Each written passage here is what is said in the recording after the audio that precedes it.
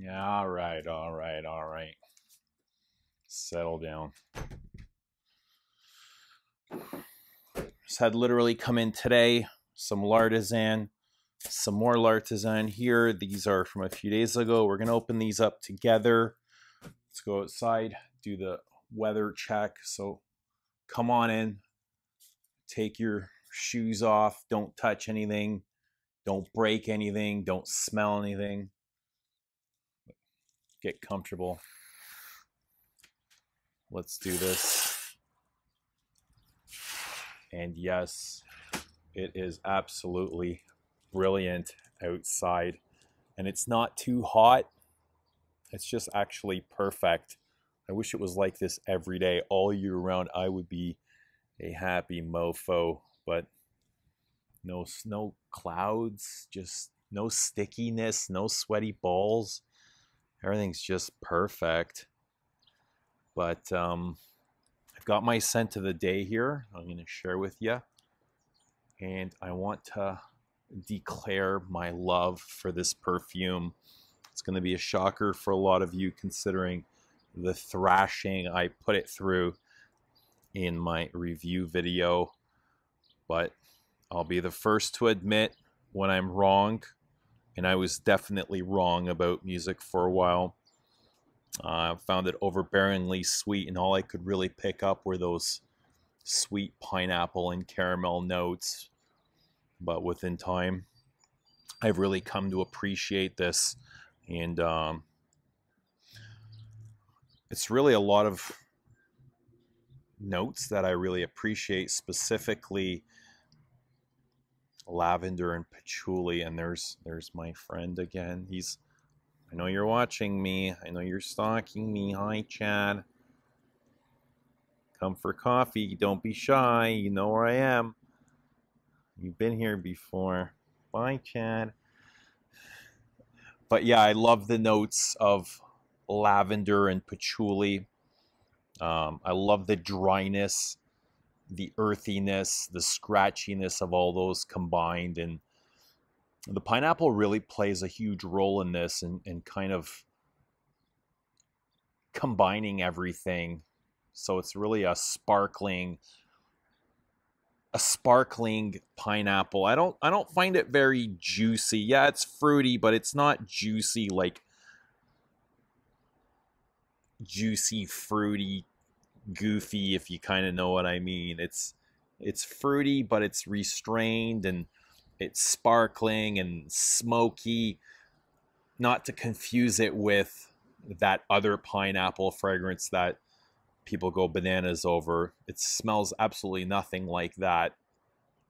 Although it is a bit leathery, I find that the, the um the pineapple here is a bit smoky, incensey, leathery, and uh, it just contrasts so beautifully against those harsher, uh, earthier notes, the the floral lavender and the earthy patchouli, and um, I'd I'd consider this normally just looking at the note breakdown of lavender, patchouli, labdanum, almost a fougere, and uh, this doesn't come off as a fougere. It's more of an oriental without really being. It's I don't know. It's kind of a mix of both, really. I wouldn't call it more of a fougere, more of an oriental, really. It's kind of like a, a lost genre or something in between. But um, I've just grown to absolutely love this, and I find it really warm and cozy and comfortable, almost like a well fitted favorite sweater and very versatile, something I could wear in all four seasons. Probably not the most humidest of days, but I've just actually noticed this today while checking out the bottle. This is not an eau de parfum or an eau de toilette. This is pure, pure parfum, pure parfum extrait. And I'm not surprised because it lasts all day. I can smell it literally with every single breath I take. But music for a while. I love you madly. I love that pineapple. I love that caramel in the dry down. Um, I, w- I was gonna say this could almost be like the masculine version of Mon Guerlain. If you like that, I would check this out. Or not even the masculine version, maybe almost the niche version of Mon Guerlain. I love Mon Guerlain for its its caramel and um, vanilla lavender accord, but this is on a completely different level. So there you go. Frederic Malle music for a while. But I have been talking about it quite a bit recently, so let's go in. Let's check some things out over here. So I'm going to open these up. I've purchased a lot of these lately. Not sure what's gotten into me, but let me flip this camera around. All right, back again. So I picked up 12 L'Artisans last week, 13 perfumes in general. And I'll be honest, I'm a little bit disappointed in myself after going about two and a half months without making a fragrance purchase to just kind of splurge like this. And I know it wasn't out of the blue.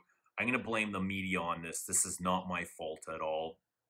Um, I don't usually watch the news, but it's been really hard to avoid it with all that's been going on lately with the isolation, with um, the protesting and looting and rioting and you know all that stuff. So it kind of took me out of my routine of meditating and reading and exercising and just you know going for walks through nature.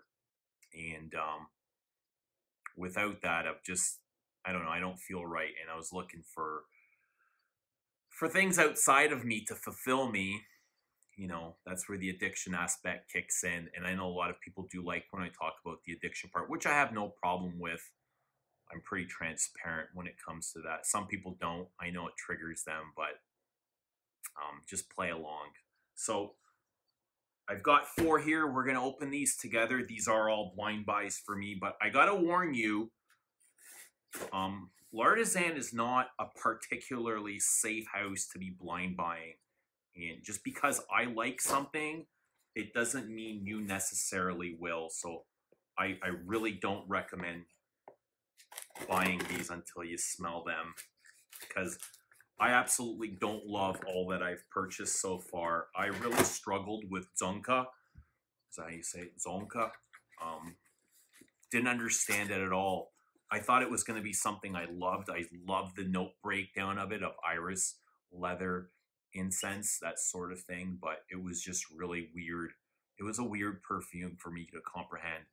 And I, I have read a, a bunch of other reviews of it, and they were mostly glowingly positive, but I read a few uh, saying it took some people, you know, uh, multiple wearings to truly understand it. And that just might be the case for me. But as far as right now, it's not something that I love or I would even recommend, but it was just really weird for me.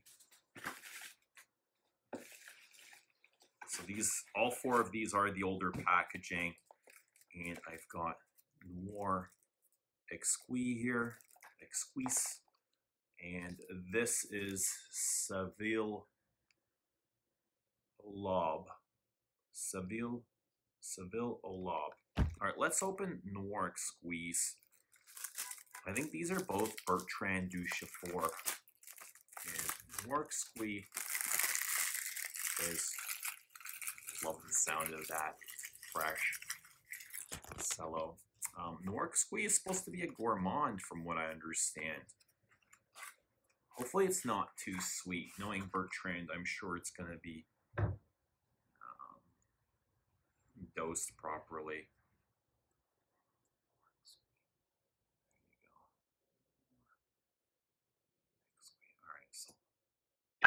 put these on a blotter.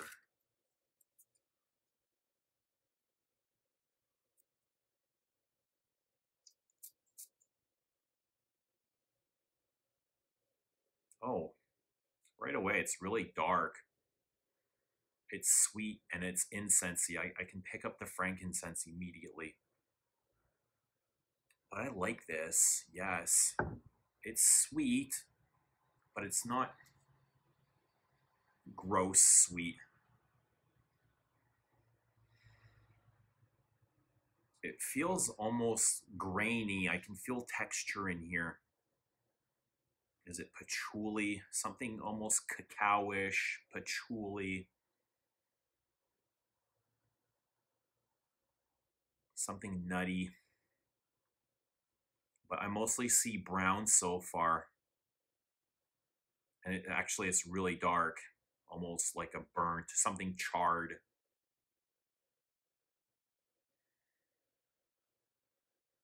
Smoky. I think this is a winner.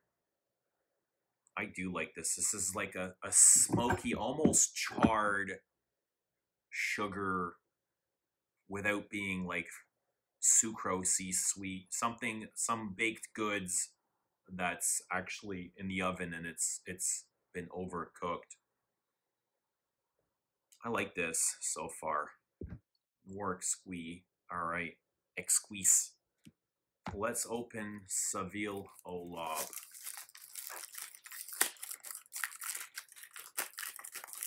You know, it's it's weird for a a brand as old as L'Artisan to be almost like under under the radar. They don't get a whole lot of attention, um, mostly from pure fragrance enthusiasts. But most people nowadays, when they think of niche, it's all very safe.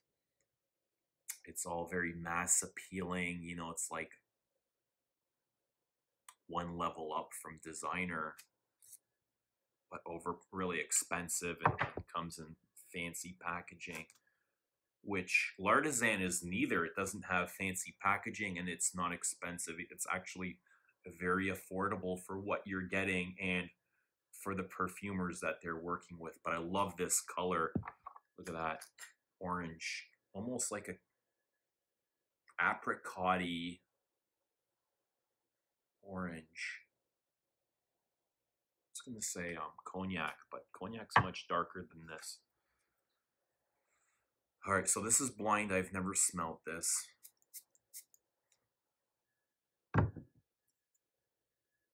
Oh, it's definitely orange. Uh, it's got a little bit of greenish, neroli, petitgrain. Nice. So this is, I don't quite get orange blossom, but this is very in that neroli-ish family. A little bit of green branches and um, leaves some soapiness. Typically, neroli is usually soapy.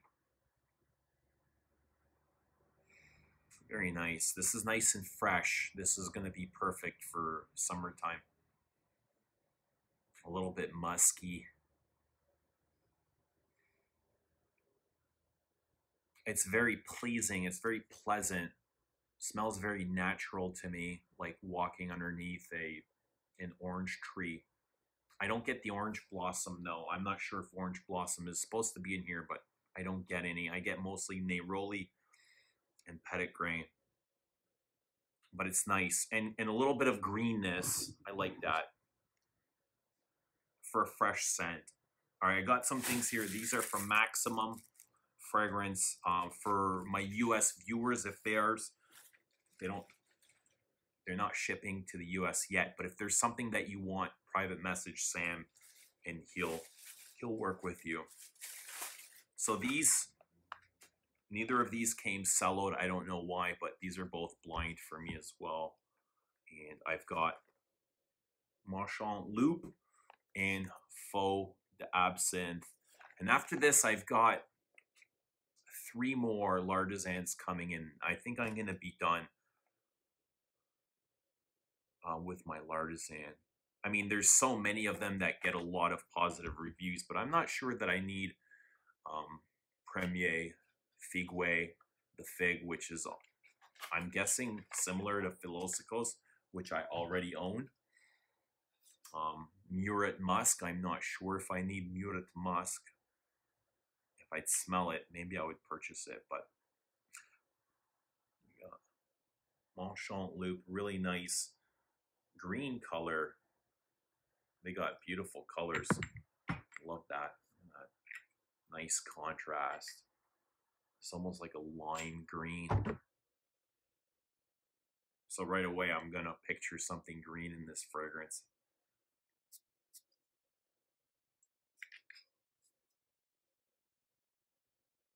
Oh, wow, this is weird.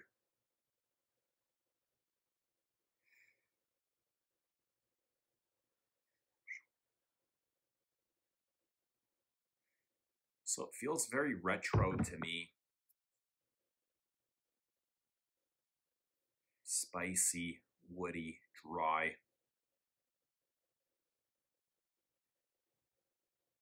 I, really can't pick up any notes. I almost feel like there's something. I feel like it's masculine, woody. It's very woody, mossy. It's definitely green, like being out in the woods. But there's some weird spices to this that I'm not familiar with.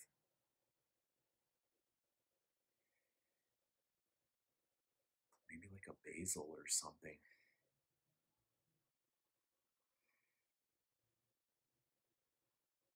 Interesting. But this feels more masculine, woody. Fresh. There's a freshness to this. Almost like something you'd find out in the woods. I bet you there's moss in there. Um, I'm not sure that I like it. I don't know. I, I'll have to wear it. Let's go with faux absinthe. All right, and there is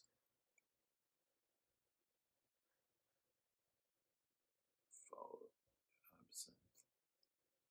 And this one is almost clear. It's got a, a very light tinge of green to this absinthe. I don't have a whole lot of uh, experience with absinthe. All right, this is not much different. So it's green, woody, spicy, dry. I think there's some vanilla in the base of this. Peppery.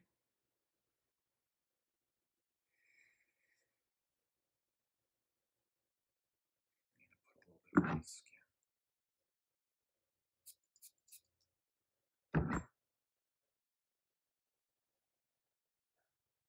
Oh wow, it's completely different on skin. It's almost leathery. I like this much better than than um, Méchant Loup. This is definitely more woody, warm, inviting. Way more masculine, way more spicy. This feels retro to me almost something like a dapper father or dapper dad would wear.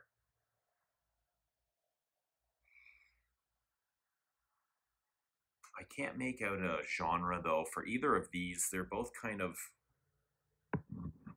they're interesting. This is niche, you know, this isn't mass appealing or it's definitely they're both weird.